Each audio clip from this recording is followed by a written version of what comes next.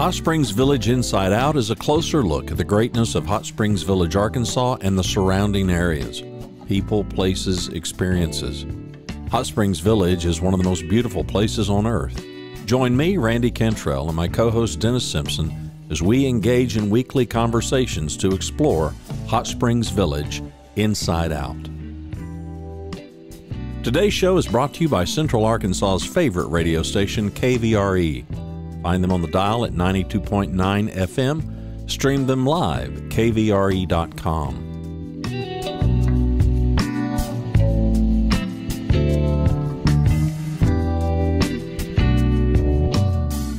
REMAX of Hot Springs Village. The award winning REMAX of Hot Springs Village is the largest real estate office inside the village with over 30 full time agents and support staff.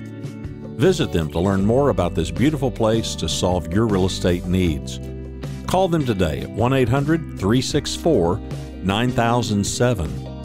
Find them online at explorehsv.com. They are REMAX of Hot Springs Village at 1 800 364 9007 or online at explorehsv.com. Ike Eisenhauer State Farm. Ike and his award winning team have been serving the insurance needs of folks all around Hot Springs Village since 1998. Ike has qualified for State Farm's President's Club, Chairman's Circle, and Hot Springs Village Insurance Agent of the Year. Call Ike Eisenhauer State Farm today at 501 984 4100. That's 501 984 4100. Find them online at ikeeisenhauer.net. Call them today for all your insurance needs because, like a good neighbor, Ike Eisenhauer State Farm is there. Just when you think we have interviewed everybody possible, we find Miss Cheryl. Miss Cheryl, how are you doing today? I'm great. How are you, Dennis? Doing well. The people that know you well know that you're down at the Century 21 office as you come in the West Gate, right?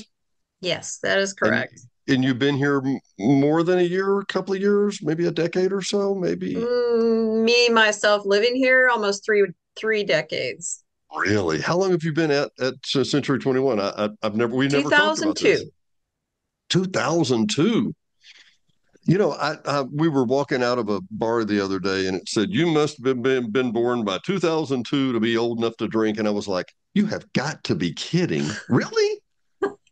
That seemed like yesterday. Anyway, so the reason we're talking today is because you have some illuminating facts at the West End. I think would be really enjoyable for some folks. I agree. Tell me how you do that, when you started all that. And for those that don't know, let me give you the five mile high view. As you come in the West Gate at particularly dark, which now that it's daylight savings time is what, about 4.30? Yeah, yeah. Close feel, feels that way, feels that way.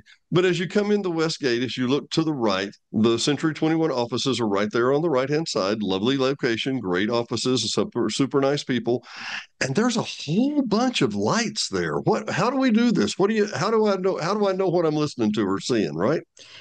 Well, you can pull into the parking lot, the main parking lot, and there's a sign on the embankment that gives some directions in case people forget you would dial your AM or FM radio to 88.1 and be able to listen to the music and watch the lights dance to the music.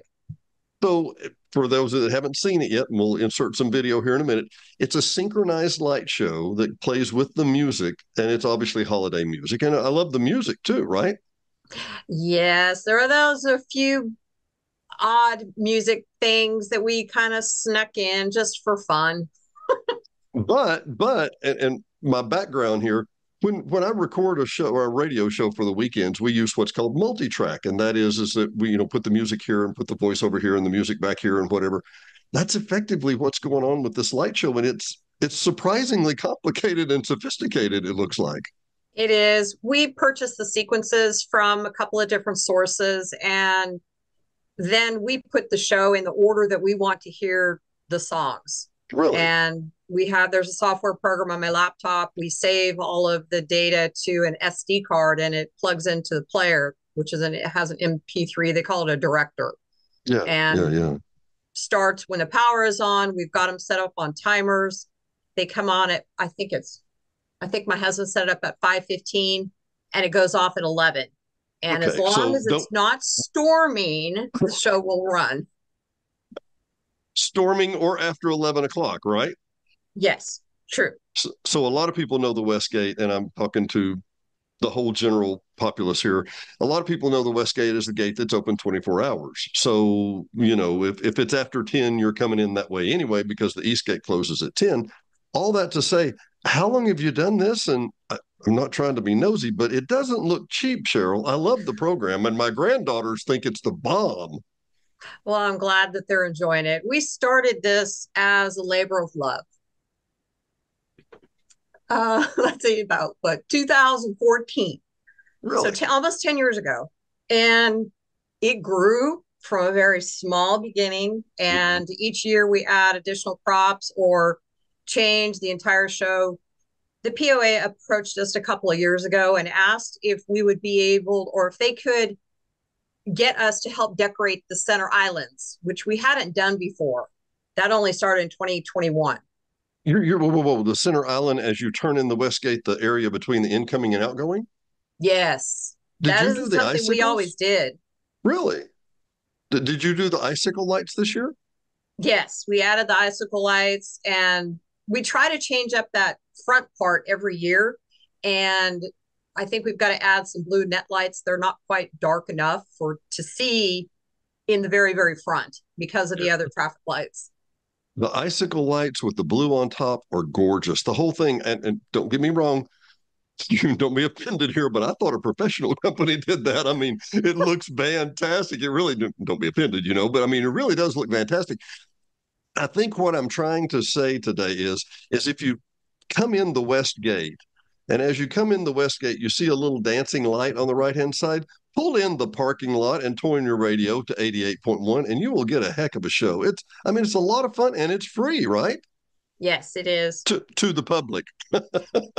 well, everybody's public, correct? it's not exactly free for you. Uh, so you started this about 2014. Mm-hmm.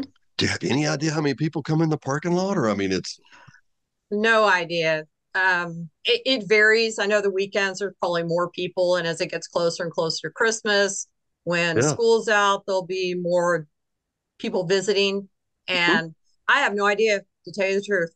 I will tell you this: we pulled in. I, In the last few years, we've been there maybe three or four times, and there, you know, we'll pull up on a Tuesday night, and there'll be a few more cars who are with us. But I got news for you: on a weekend, you may have trouble finding a good spot because it it goes on, and uh, I mean, you sit there for 20 or 30 minutes in the comfort and warmth of your car, wink, wink, hint, right. hint.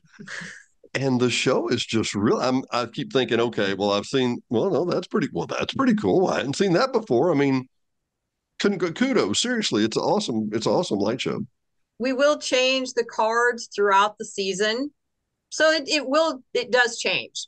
And then usually right before New Year's, I'll put together some kind of wilder music and let that play through New Year's Eve.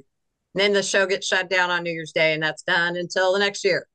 Wow. You know, it's uh, parts of it, don't take this wrong either. Parts of it kind of reminded me of Blue Man Group because it would be a little more modern music and a lot of fancy lights and it, it the syncopation. The, anyway, uh, the one of the times we called, I called you to check about this show and see if you could record for us. And what were you doing at that exact moment when I called, Miss Cheryl?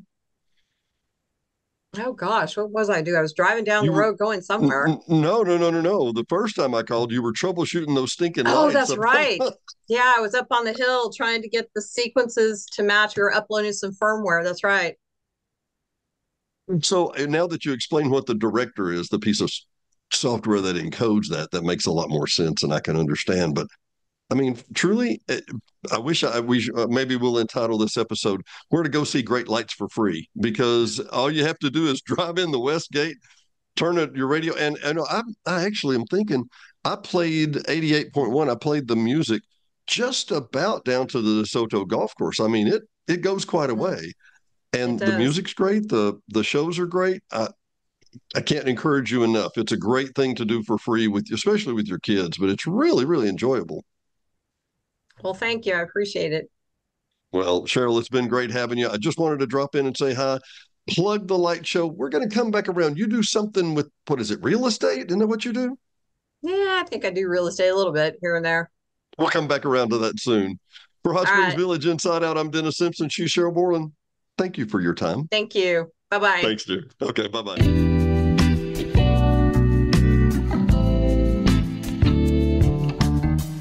Thanks for watching and listening to Hot Springs Village Inside Out, a weekly podcast starring Hot Springs Village, Arkansas. Visit the website at hotspringsvillageinsideout.com.